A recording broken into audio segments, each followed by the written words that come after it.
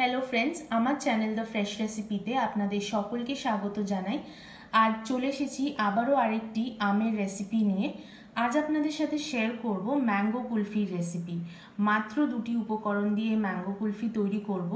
Mango kulfi তৈরি করার জন্য আমাদের আম তো লাগছেই। আরেকটি কি উপকরণ লাগছে এটা জানতে হলে কিন্তু পুরো ভিডিওটা দেখতে হবে।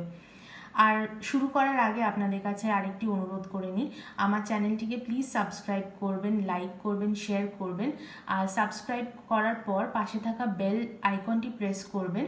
আর অল সিলেক্ট করবেন যাতে করে যখনই আমি একটা নতুন রেসিপি আপলোড করব, সর্বপ্রথম তার নোটিফিকেশন আপনাদের কাছে যাবে। প্লিজ সাপোর্ট করবেন। আপনাদের প্রত্যেকটা সাপোর্টে কিন্তু আমি বিশালভাবে মোটিভেট হই আরও আরও নতুন রেসিপি শেয়ার করার জন্য। তাহলে আসুন, আমরা শুরু করে নিই। এখানে আমি দুটো এই সাইজের হিমসাগরের আম নিয়েছি। আপনারা চাইলে নিজেদের পছন্দের আম নিতে পারেন। তবে সেই আমটা একটু দেখে নেবেন যাতে ভালো হয় আর মিষ্টি হয়। আম মিষ্টি হলে কিন্তু কুলফি দারুণ হবে খেতে। তাহলে শুরু করা যাক। প্রথমেই আমটা আমি এই সাইডটা কেটে নেব।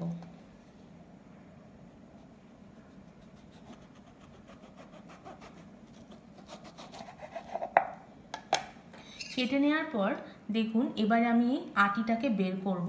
তো প্রথমে এই চামচের সাহায্যে আমি আটির চারিপাশটা একটু লুজ করে নেব, এভাবে করে একটু ঘুরিয়ে নেব।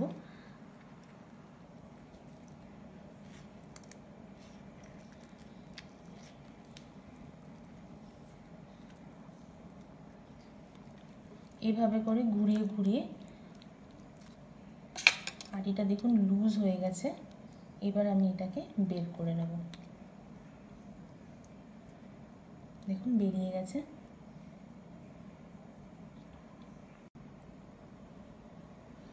দেখুন আমি আটিটা পুরো বের করে নিয়েছি।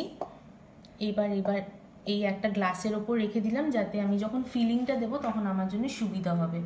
আর এই আটিটা কিন্তু ওয়েস্ট হবে না। দেখুন, আটির গায়ে যে আমগুলো রয়ে গেছে, সে আমগুলো কিন্তু এই আমের মধ্যেই দিয়ে দেব। আর চাইলে এটা আপনারা যদি না দিতে চান, এটা কিন্তু কেউ খেয়ে নিতে পারে আর কি। খাওয়া যেতে পারে ওটা। আর এই আমটাও আমি ঠিক একইভাবে কেটে নেব।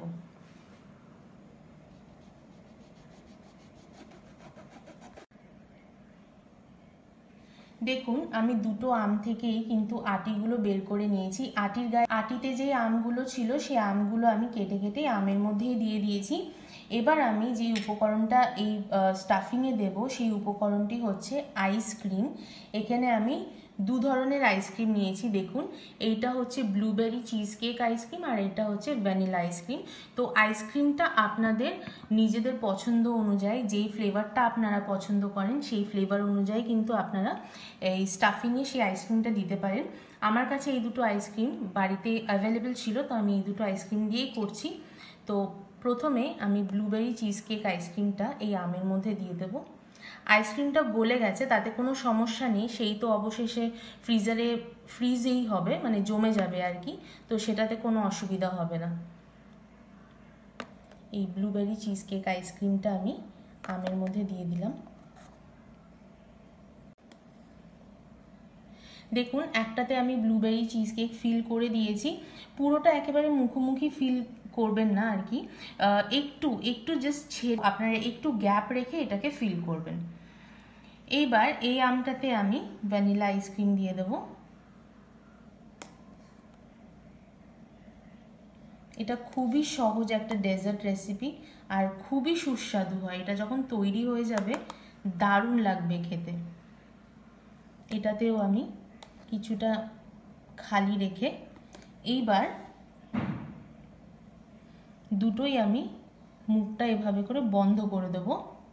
দিয়ে আমি এই গ্লাসের ওপর যে রেখেছি, এই গ্লাসের ওপর রেখেই কিন্তু আমি ফ্রিজারে রেখে দেব। কারণ যেহেতু আমার আইসক্রিমটা গলে গেছে আর কি, তো কাত করে রাখলে পড়ে যেতে পারে। তো এইভাবে করে রাখলে কোনো অসুবিধা হবে না। এইভাবে করে ভালো করে ঢেকে আমি ফ্রিজারে এটাকে বারো ঘণ্টা রেখে দেবো। বারো ঘণ্টা পর তারপর এটাকে বের করে আপনাদের দেখাচ্ছি।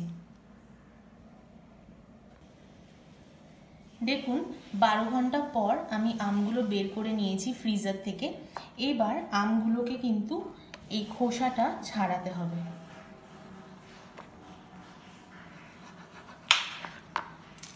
আমি এইভাবে করে পিলার দিয়ে পিল করে নেব।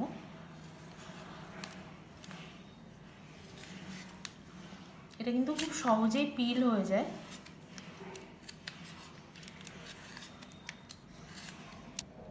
এখানে আমি একটা পিল করে নিয়েছি, একটা আম। আমি আরেকটা আমও কিন্তু ঠিক একইভাবে আমি পিল করে নেব।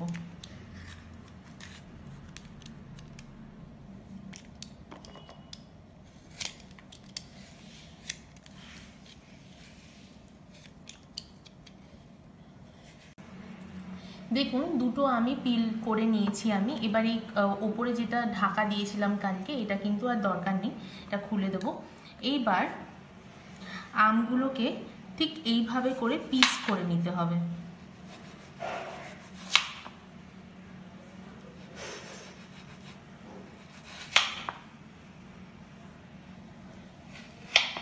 দেখুন কি সুন্দর লাগছে দেখতে।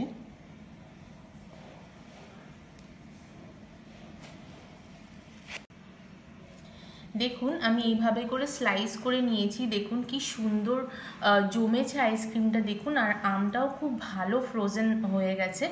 এবার এইভাবে করেই কিন্তু পরিবেশন করা যায়। চাইলে ওপর দিয়ে একটু ড্রাই ফ্রুটস দিয়ে গার্নিশ করতে পারেন। তা, এটা হয়ে গেছে একটা। এবার আমি এই বড় আমটাকেও ঠিক একইভাবে স্লাইস করে নেব।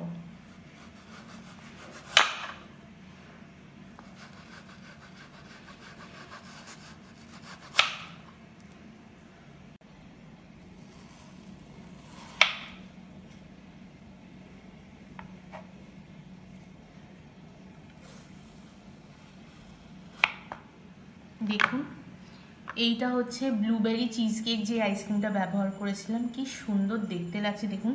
খুব ভালোভাবে আইসক্রিম যেরকম ফ্রোজেন হয়ে যায়, আমটাও কিন্তু একেবারে ঠান্ডা আর ফ্রোজেন হয়ে গেছে। খুব ভালো লাগবে এটা খেতে। এবার এটাকে আমি পরিবেশন করে নেব। দেখুন, আমের কুলফি একদম রেডি কি সুন্দর দেখতে হয়েছে, দেখুন। ব্লুবেরি চিজ কেকটাও খুব ভালো কি সুন্দর দেখতে লাগছে দেখুন। এইটা হচ্ছে ব্লুবেরি চিজ কেক দিয়ে তৈরি করা আর এইগুলো হচ্ছে ভ্যানিলা আইসক্রিম দিয়ে তৈরি করা। এটা অবশ্যই ডেজার্ট হিসেবে আপনাদের বাড়িতে অবশ্যই এটা ট্রাই করবেন।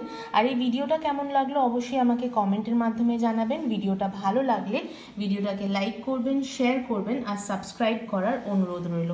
তাহলে আজ ভিডিওটা এখানেই শেষ করছি। আবারও আসব আরেকটি নতুন রেসিপি নিয়ে। আপনারা খুব ভালো থাকবেন, সুস্থ থাকবেন। ধন্যবাদ।